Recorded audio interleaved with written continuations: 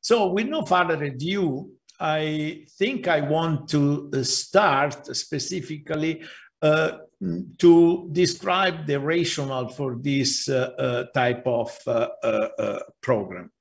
And the concept is that living well with dialysis is a legitimate aspiration for every patient and for every single physician that is treating our patient. However, this is what we call an unmet clinical need because uh, life in dialysis still present problem and complications. New technologies have permitted some improvements in dialysis care. Clinical outcomes and survival, however, at medium long term are still poor outcomes of end-stage kidney disease patients have been correlated with the blood level of medium large molecules insufficiently cleared by renal replacement therapy. And therefore, we should improve removal of uremia retention molecules. Single approach may not be sufficient to solve this issue, and in fact, a new therapy should be utilized where the spectrum of molecules removed closely mimics the work done by the human kidney. What are the problems? Problems uh, relate to the fact that patients are older, sicker, and have a lot of comorbidities. We have suboptimal middle and long-term outcomes. We have lack of adequate renal replacement therapy that is leading to complications. Increased morbidity affects quality of life and higher hospitalization and increased cost. And we need to improve quality of blood purification. We have identified today the correlation between specific molecule accumulation and related syndrome. Serum amyloid A and beta 2 microglobulin with dialysis related amyloidosis, leptin and appetite suppressing toxin with malnutrition, granulocyte inhibitory proteins with infection, parathyroid hormone homocysteine with cardiovascular complication and osteodystrophy, and finally erythropoiesis inhibitor, hepcidin with anemia.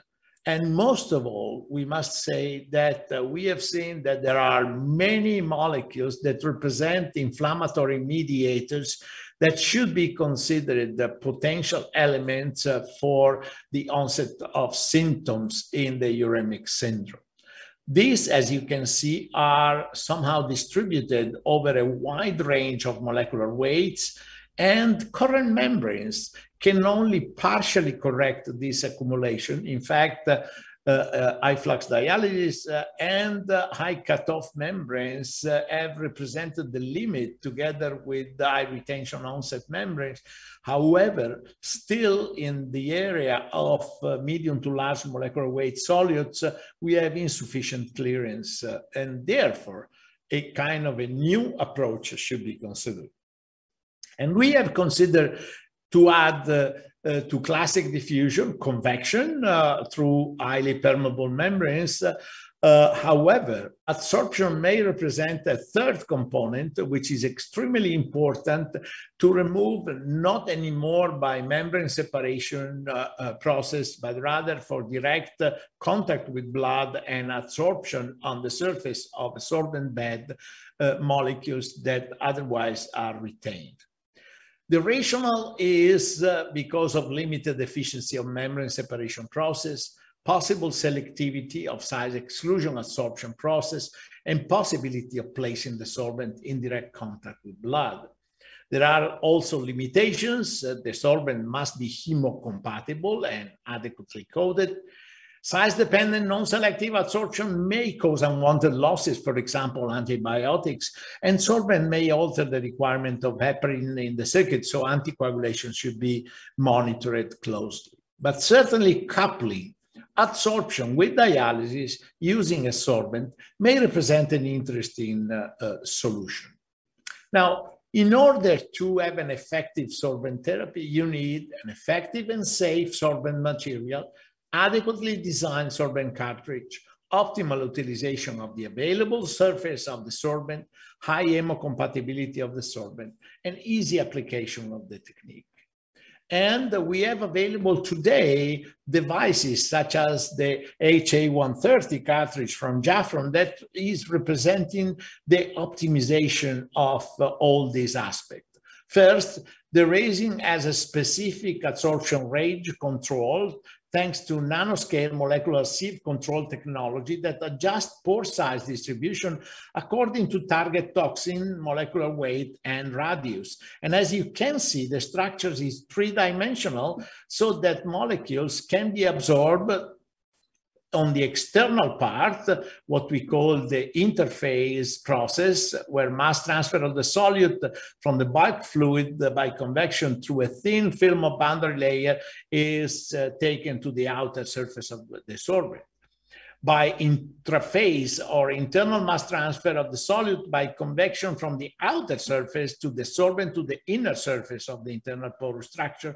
And finally, surface diffusion along the porous surface and adsorption on the solute onto the porous surface.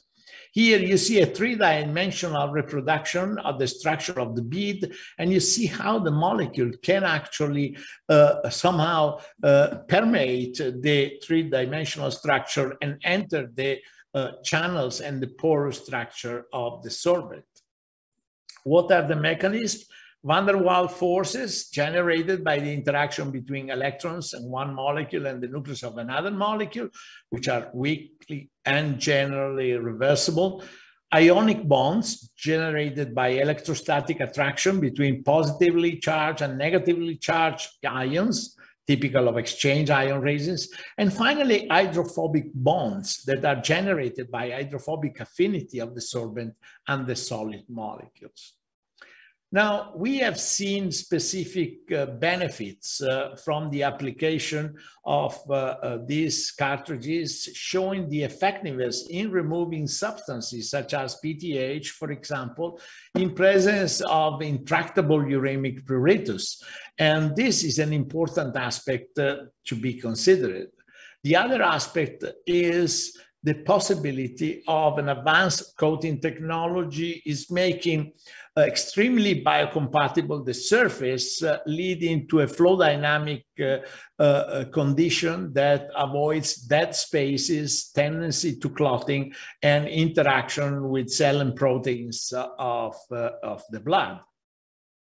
In order to do that, not only the beads should be well designed, but also the sorbent cartridge and the structure of the sorbent.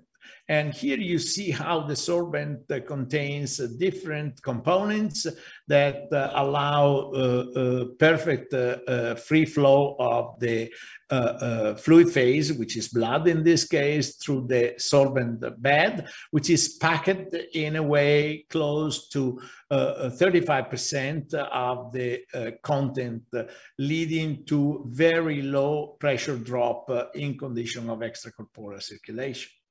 The design of the cartridge is also made in order to make possible a, a, a kind of laminar flow distribution and uh, uh, no turbulence inside the interparticle uh, pathway.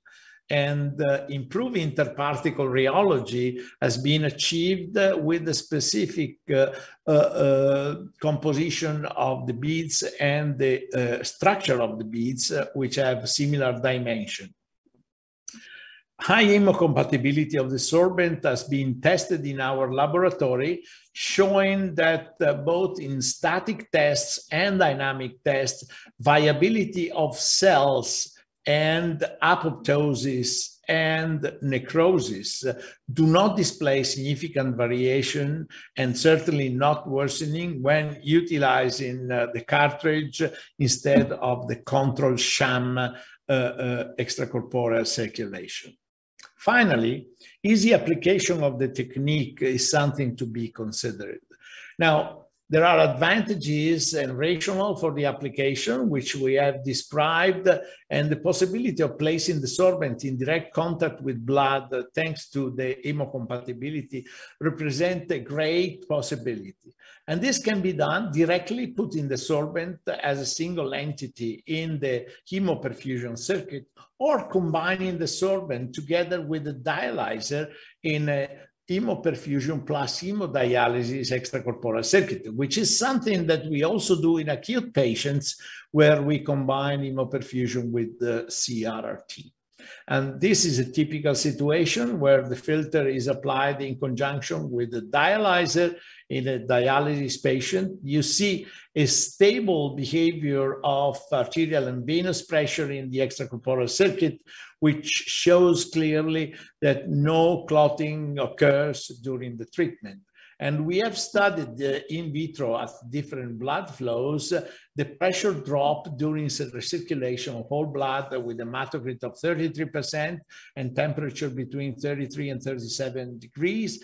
And you see that, for example, even at the highest uh, blood level, there is no change in delta pressure 118, 116 after 2.5 hours of treatment.